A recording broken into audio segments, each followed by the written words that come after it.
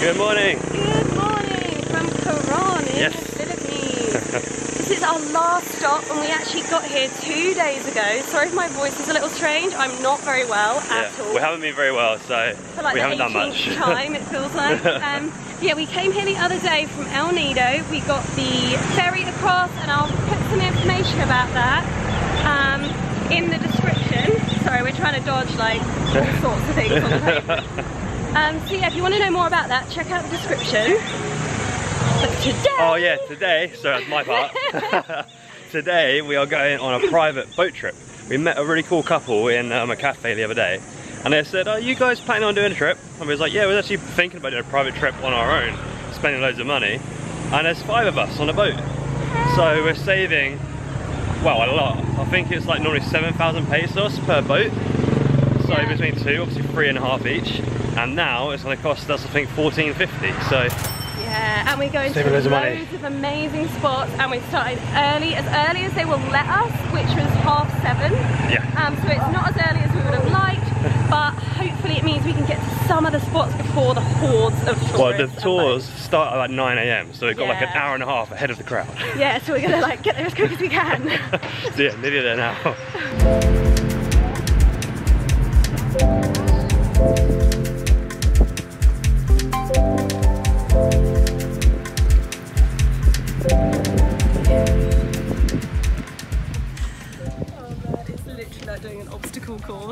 these boats. It was. I'm amazed how we haven't fallen in. we in. walked from the way there. We made it. We have, haven't we? This is the boat. This is the boat. Thank you. Hard work for you guys.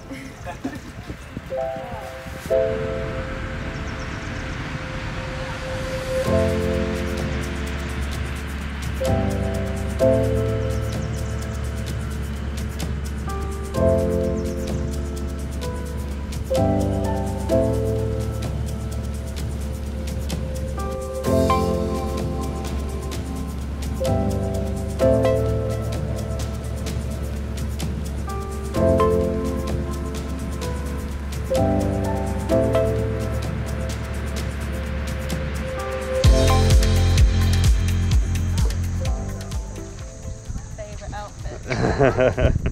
Okay, so we've made it to our first stop, to the lake. I'll write the name. and yeah, we've apparently got to hike up and over. And unfortunately, we have to wear the life jacket. Maybe there was an accident here or something. Um, but we are here before like all of the major crowds, so hopefully we can get a little spot of peace.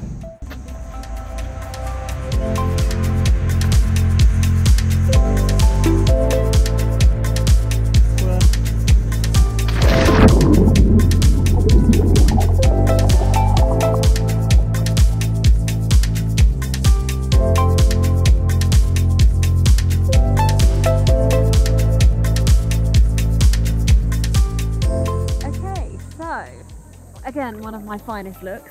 Uh, we're now in the lake, obviously, and yeah, we have to wear life jackets unfortunately because our guide, our driver, he said that two people actually died here, or I think that's what he said um, last year. So now everybody has to wear a life jacket, um, which is unfortunate because you know if you're a really strong swimmer, then.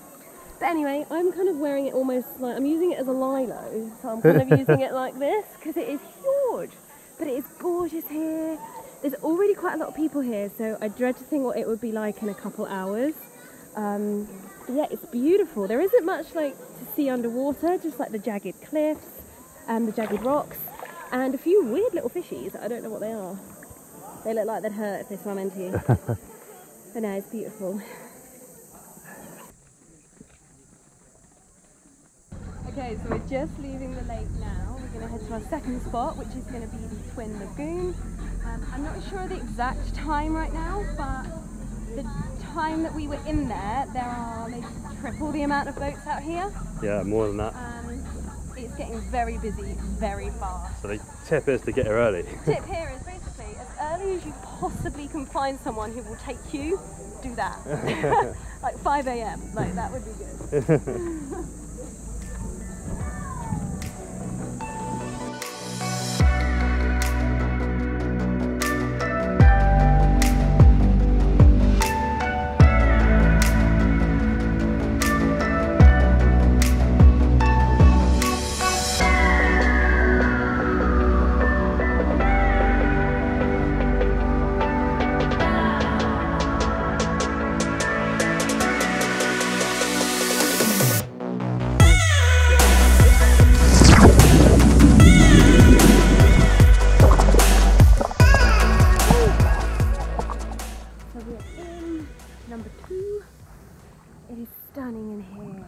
so pretty. It's so pretty.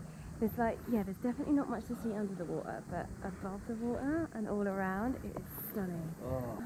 It is so quiet and so lovely. I mean, look at this. Look at that.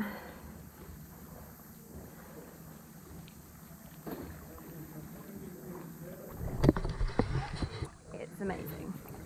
The private tour that we are on, we basically paid 1500 and that's really not far off what you pay for a group tour. So finding a group is so, so beneficial.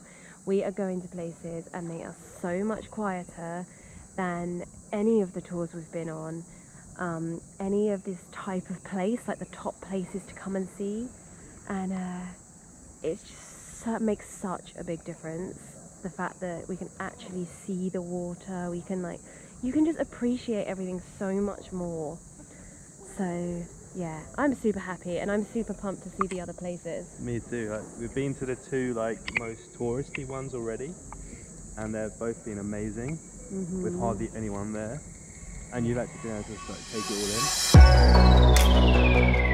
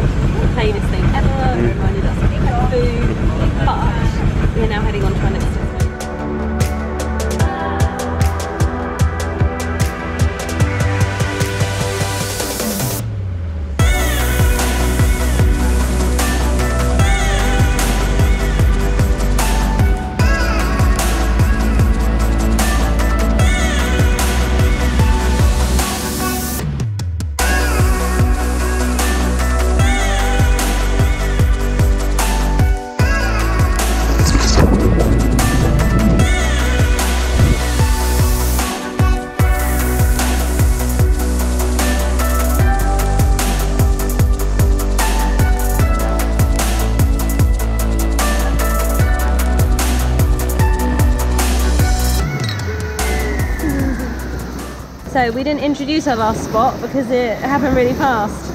Yeah, that was called the Coral Farm, I think. Coral Garden. Or Coral Garden. It was awesome. That was probably the best snorkeling I've done so far. Like, the amount of fish was just unreal. It was so cool. Saying that, in Moalboal it was amazing. It was a sardine run. So yeah, it was just really, really cool. Loads of different types of fish, and the coral was so colourful.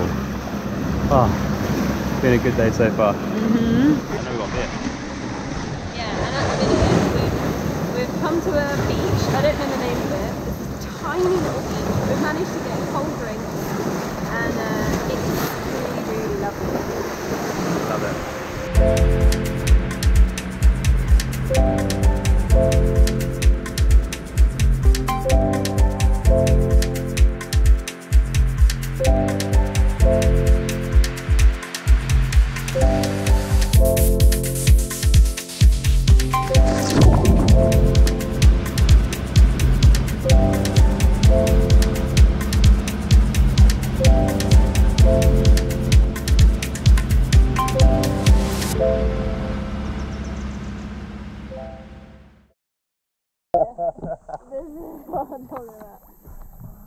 Oh, there's my feet. Apart from this tube jabbing in the throat.